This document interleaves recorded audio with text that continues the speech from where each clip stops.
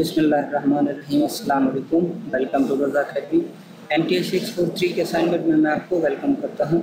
आज के लेक्चर में हम पार्ट सी जो है, उसको सॉल्व करने की कोशिश करेंगे। तो चलिए चलते हैं। ये मैं एक दफ़ा आपको क्वेश्चन नंबर सी दिखा भी देता हूँ। क्वेश्चन नंबर सी में आपको दिया हुआ है।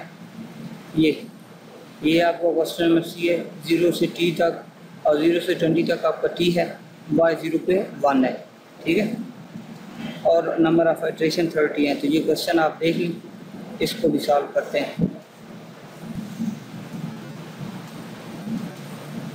ये करा जाए ये क्लियर और ये मैंने आपको बताया, ये जब भी आप नेट लैब के एडिटर ओपन करें, ये तीन कमांडें आपने लाजमी लिखनी है क्वेश्चन नंबर वन उसी तरह जिस तरह बाकी क्वेश्चन हुए, इसमें आप सिर्फ़ देखते जाएँ, ये ट्रू सोल्यूशन लिखा हुआ आप इसकी जगह कोई और वेरिएबल लिख सकते हैं टी साल कमांड आगे ये जो ये सिंगल कोर्स के अंदर लिखे हुए इसको आप अच्छे से देख लें, ठीक है?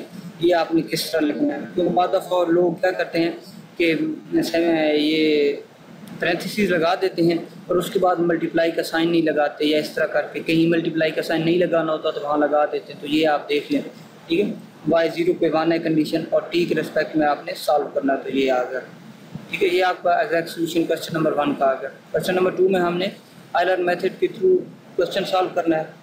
तो सबसे पहले अनोनमस फ़ंक्शन के थ्रू इसी फ़ंक्शन को जो इधर लिखा है, इसको हम डिफाइन कर लेंगे। इसमें हमने string as a string define किया इसके बाद में हम फिर वेक्टाइज फॉर्म में चेंज भी करेंगे, ये पहले वाले, ये वाला जो तो ये हमने अनोनमस फ़ंक्शन इसके बाद डिफाइन कर लिया, ठीक है? और इसका भी प्रोसीजर देख लें किस तरह है। नंबर ऑफ़ आइट्रेशन थर्टी थी, या सिक्सटी थी, जितनी भी आए आइट्रेशन आप देख लीजिएगा। आइट्रेशन को उस लिहाज से कर लीजिएगा, ठीक है? और वाई ज़ीरो पे वन है। तो ये टी नाट यानी कि ये जो दरमियान वाला ज़ीरो लिखा है, ये आपका टी नाट है, ठीक है? यानी टी नाट पे वाई की वैल्यू वन है, ठीक है? तो टी नाट ज़ीरो है वाई नाट वन है, और ज़ीरो से ट्वेंटी तक के इसका इंटरवल है। तो टी एन की जगह ट्वेंटी लिख दिया। अभी हमने सब इंटरवल फाइंड करना है तो सब इंटरवल का फार्मूला ये है, ठीक है? टी वन आपका टी नाट की इक्वल है वाई वन आपको किसकी इक्वल होगा? वाई नाट की। ये किस लिए?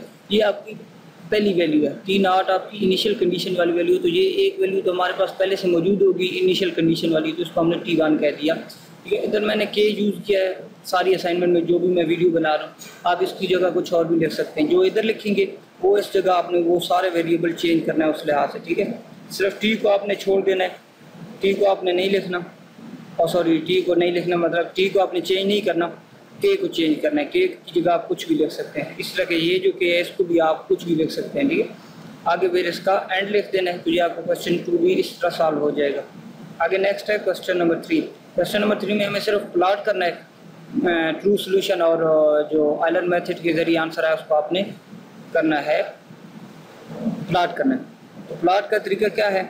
इधर चूँकि मैंने वो ट्रांसपोज वाली वैल्यूज़ को नहीं लिखा तो सिंपल टी और वाई इनको प्लाट करना और इनका कलर क्या होना चाहिए? ब्लू होना चाहिए और टी और एग्जैक्ट ठीक है? यानी कि ये जो टी वैल्यू है, इस पर आपने एग्जैक्ट सोल्यूशन को भी प्लाट करना है। तो एग्जैक्ट सोल्यूशन लिख दिया और आगे आर लिख दिया, यानी कि उसका कलर रेड होना चाहिए। एग्जैक्ट सोल्यूशन क्यों है? क्योंकि मैंने इधर वेरिएबल ये एग्जैक्ट सोल्यूशन लिखा है, इस वजह से ये है। आपने इसको भी चेंज करना है। ये जितने भी वेरिएबल होते हैं ना डमी इनको आपने चेंज लाजमी करना है ताकि आपका सोल्यूशन जो है थोड़ा यूनिक बने। आगे आप एक्स लेबल कर सकते हैं वाई लेबल कर सकते हैं टाइटल दे सकते हैं, कुछ भी कर सकते हैं। लेकिन एक तरीका ये है, एक तरीका ये है कि आप इसको, ये जो है प्लॉट है, इसको लहदा लहदा भी लिख सकते हैं, ठीक है? इसको मैं इधर लिख देता हूँ, इधर।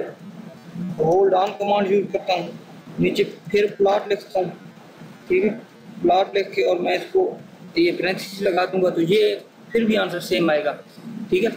आगे आपने क्या करना है, अगर इधर मैं ये लिख देता हूँ वैसे। अभी मैं इधर चेंज करूँ तो टी वैल्यूज़ लिखूँ, ठीक है? और टी वैल्यूज़ को मैं क्या कर दूँ? ट्रांसपोज कर दूँ किसका ये जो ऊपर टी दी हुआ है, ठीक है? ये कर लूँ फिर इसी तरह वाई कर लूँ ठीक है वाई वैल्यूज़ लिख दूँ। इक्वल ट्रांसपोज ट्रांसपोज का मतलब है कि ये जो इसको एक फॉर्मेट दे देगा, एक लाइन में जो है ना, बिल्कुल आप अगर ये कॉलम वाइज है तो ये उसको रो वाइज कर देगा रो वाइज है तो उसको कॉलम वाइज कर देगा। इस तरह ट्रांसपोर्ट का तो आपको पता ही होगा मैथ के स्टूडेंट में तरह होगा। ठीक है वाई वैल्यू तो वाई लिख देंगे। अभी आप क्या करें? अभी जिधर ये टी लिखा है, इसकी जगह आप टी वैल्यू को रिप्लेस कर दें। ठीक है, वो भी ठीक है टी भी लिखिए तो फिर भी आ जाएगा आंसर टी वैल्यूज़ लिख दें, इसी तरह इधर भी आप टी वैल्यूज़ लिख दें। इधर आप वाई वैल्यूज़ लिख दें ठीक है ये सारा कुछ करेंगे, फिर भी आपका आंसर सेम आएगा। आपने सिर्फ़ क्या करना ये डमी वेरिएबल है। टी वैल्यूज़ की जगह आप कुछ भी लिख सकते हैं एम वैल्यूज़ लिख सकते हैं एम लिख सकते हैं, ठीक है? ब्रावो लिख सकते हैं। कुछ भी लिखना है, आपने इनको चेंज लाजमी करना है, ये जितने भी वेरिएबल हैं। और सोल्यूशन आपने देखना है, अगर आपका आंसर विंडो में बहुत बड़ा आ रहा है तो आप क्या करें? आप सिंपल ये जो वैल्यूज़ हैं टी वैल्यूज़ और ये जो वाई वैल्यूज़ हैं। इन दोनों को आप सेमी कलर लगा देंगे तो इनके आउटपुट सब पैसे जाएगी और आपका आंसर छोटा हो जाएगा।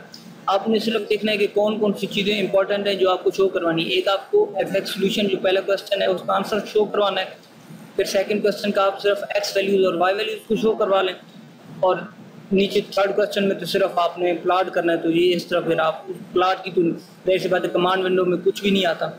ये आपका क्वेश्चन नंबर यानी कि सी का आंसर होगा। उम्मीद है वीडियो आपको अच्छी लगी कहाँ आप, मैं एक दफ़े इसकी आउटपुट दिखा देता हूँ। तो ये देखें, ये आपका ग्राफ आ गया।